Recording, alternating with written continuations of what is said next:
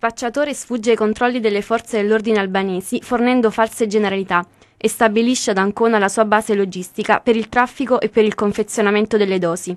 Ma le indagini coordinate dalla squadra mobile di Ancona hanno portato all'arresto del ricercato, Kreshnik Daci e di altri due connazionali, Ledion Dizari e Globen Cibaku, poco più che ventenni.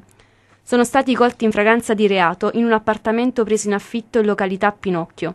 Nelle tre stanze dove i poliziotti hanno fatto irruzione all'alba di lunedì sono stati rinvenuti sei etti di cocaina pura, un chilo e mezzo di hashish e mezzo chilo di marijuana.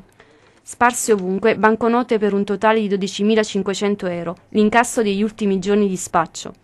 L'importazione e la preparazione delle sostanze stupefacenti di provenienza albanese era in grado di coprire la domanda di droga sul territorio anconetano e nella zona sud della regione. I tre ora sono rinchiusi nel carcere di Montacuto. Abbiamo portato a termine un'importante operazione di polizia giudiziaria che si è concretizzata nella giornata di ieri con l'arresto di tre soggetti albanesi, eh, tre pedine importanti dello spaccio addirittura al di là dei confini nazionali, quindi soggetti che eh, avevano eletto il loro covo qui nel capoluogo di regione e da questo appartamento riuscivano a smerciare eh, quantitativi notevoli di sostanza stupefacente. Il personaggio più importante era ricercato a livello internazionale perché le autorità albanesi avevano spiccato un mandato di cattura internazionale, quindi la nostra attività di indagine è stata importante anche per assicurare alla giustizia un personaggio di assoluto spessore che era riuscito a sfuggire eh, anche in taluni controlli effettuati in precedenza.